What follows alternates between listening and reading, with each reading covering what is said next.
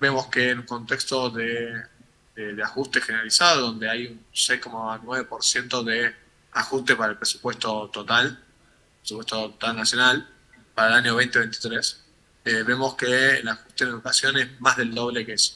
Es decir, 15,5% hay de ajuste en el Ministerio de Educación, lo cual eh, hace que muestre un poco las prioridades ¿no? del presupuesto que se está tratando eh, respecto a la educación. Lo primero sería entender que esto se puede modificar, que ojalá que sea así, que se modifique.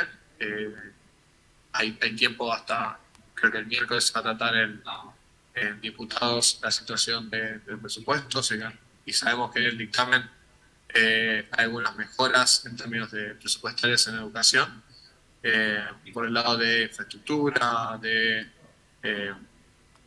de la, del programa de becas, etcétera, donde muestran algunas, algunas mejoras. Ojalá que eso se lleve a cabo en, en, la corrección de, del proyecto de ley.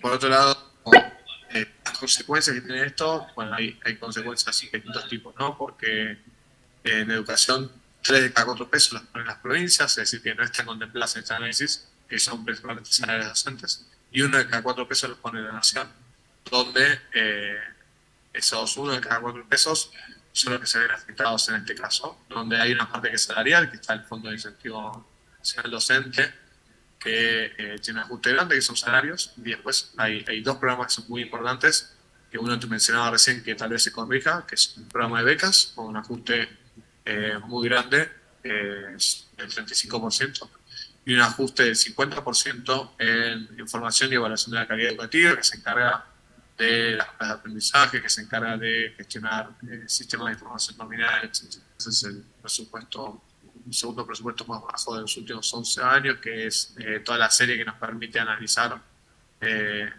información disponible del presupuesto abierto.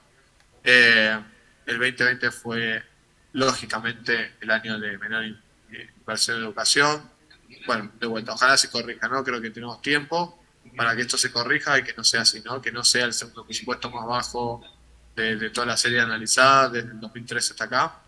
Eh, ojalá que se corrija, pero esto muestra, como te decía al principio, la importancia relativa que se le da a la educación, ¿no? De las 25 jurisdicciones, eh, jurisdicciones presupuestarias que hay, ministerios, jurisdicciones presupuestarias que hay, eh, la educación está entre las seis que más ajustan. Entonces, bueno, esto muestra muestra la importancia relativa. ¿no?